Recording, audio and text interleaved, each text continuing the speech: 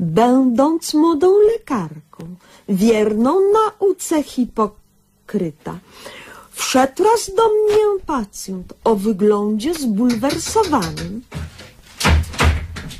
Dzień dobry, pani doktor. Mam wybuchowy żołądek.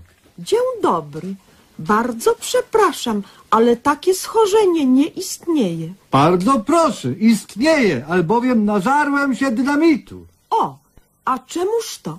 Ponieważ dowiedziałem się od Husaja, że jak zostanę się żywym kamikazem i wysadzę w powietrze obieg amerykański, to zaraz pójdę do raju i będę pieszczonym przez churysy. A ja jestem pies na churysy i w dodatku byłem wtedy po pijaku. Słucham dalej, gdyż przypadek jest pasjonujący. Nażarłem się więc dynamitu i poszłem do ambasady USA, do kolejki. Ale akurat przede mną stała matka z niemowlęciem wybierająca się na saksy, a że jestem miękki na sercu, więc się cafłem i poszłem do amerykańskiego korespondenta Newsweekly. Ach, to zupełnie jak z serialu. I co dalej? Nic, bo go nie było w domu, a ja akurat wyczeźwiałem, cholera. I co? Stukłem się w łeb na dowód, że jestem idiotą i przyszłem do pani doktor po ratunek. No cóż, Po ratunek. mogłabym wyrżnąć panu wybuchowy żołądek, ale jest to praca w warunkach niebezpiecznych dla zdrowia. Rozumiem i kładę na parapecie akwiwalent. O, miło mię. Ale ja nie mam na stanie zastępczego organu. Przewidziałem to i przyniosłem ten oto woreczek nelonowy. A to co innego. Proszę się rozciągnąć na leżance, tylko powoli i ostrożnie. Zadałam pacjentowi narkozę, E!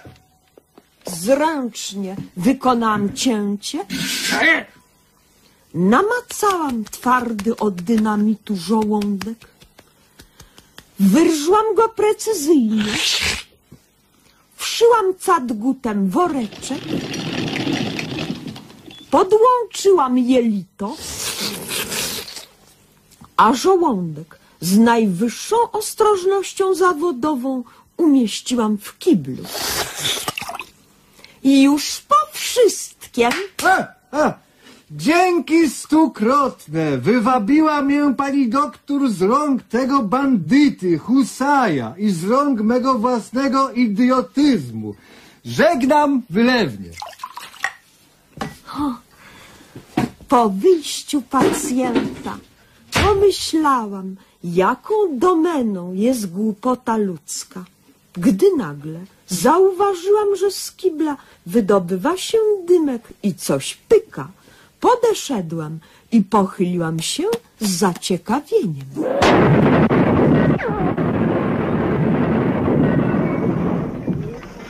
A, do usłyszenia. Się wybierająca się na saksy, a że jestem miękki na sercu, więc się cafłem i poszłem do amerykańskiego korespondenta Newsweekly. To zupełnie jak z serialu.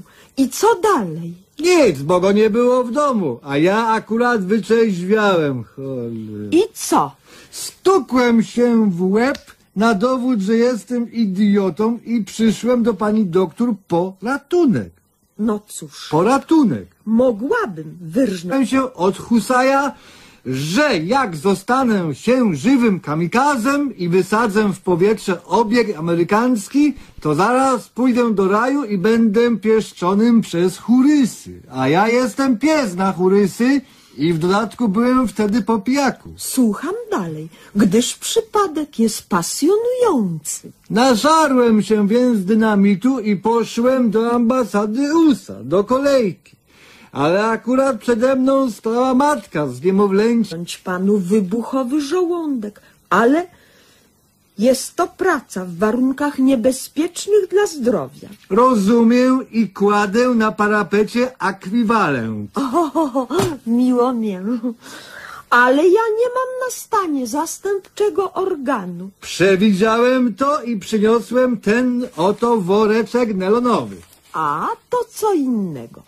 Proszę się rozciągnąć na leżance, tylko powoli i ostrożnie.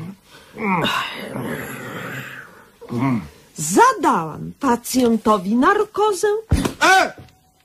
zręcznie wykonałam cięcie, namacałam twardy od dynamitu żołądek, wyrżłam go precyzyjnie, wszyłam cadgutem woreczek,